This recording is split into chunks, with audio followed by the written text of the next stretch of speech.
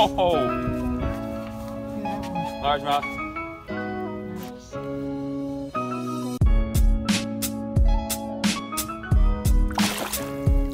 There's a bass chilling on the bed right there. I don't know if you guys can see him, but I'm gonna try to hook up in him right now. All right, guys, I caught him on the bed. I got the bed fish. That is so sweet. I saw him take the Ned rig. It was the coolest thing ever.